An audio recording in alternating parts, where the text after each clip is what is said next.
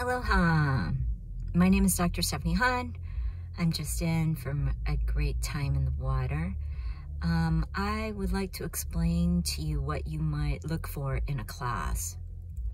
Okay, so if you want to learn craft skills um, and basic technique, there are many, many people who can teach this to you very well. There are tons of books there's a lot of material. There's a lot of online classes you can take. Um, there are instructors to teach you this on every level. So that's the basics in terms of what um, you can get from any type of class.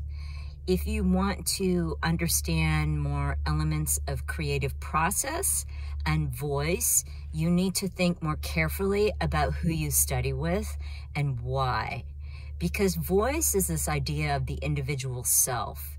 If you have a good instructor, you're going to be questioning your framework.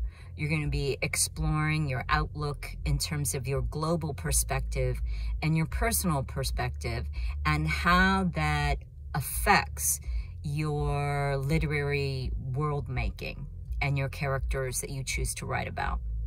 So to explore voice requires you, if you really explore it well, to be vulnerable and to ask questions that might even be a little dangerous to your own sense of self and what you believe. Creative process is this idea of figuring out how we make art and why we make art. So it intersects with ideas of learning about voice, right? It's what is the best situation or what compels us to create. Creative process classes, again, you can learn a lot of creative process techniques from a variety of people. But the discovery and the sharing of this within a group context, it is important for you to feel okay about discussing this with your instructor as well as the people around you. A lot of times you can have a not so great instructor, but an awesome peer group, and that will pull you through. Other times you have a fabulous instructor and you have a rather wretched peer group. In an ideal situation, you have a good instructor and a good peer group, and maybe from this peer group, there are one or two people that you keep in touch with.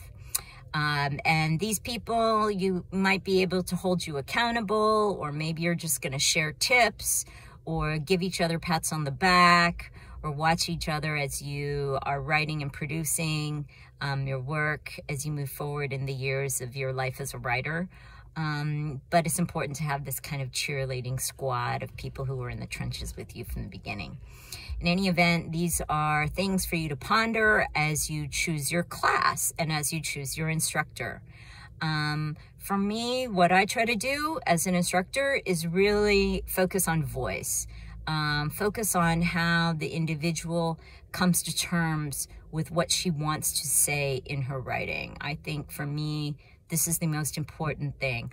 I also teach technique. You have to have technique and craft, but you need to have a certain strength of voice or all the technique in the world won't matter. And actually, vice versa is also true. So both those are important. Um, anyway, that's about it. Thought I'd give you the little hint. If you're looking for classes, uh, register at drstephaniehan.com online or look around for other classes. You shouldn't only be studying with one person. I know I'm saying that and I'm a writing instructor, but it's true. You should try different kinds of people to study with. Um, and please sign up for my Substack newsletter and uh, subscribe to this YouTube channel for more hints on writing, reading, literature, creative process, all that kind of stuff. And subscribe to this YouTube channel. So go to drstephaniehan.com. Aloha, bye, jump in the water, do something in nature. You're going to feel awesome. Bye.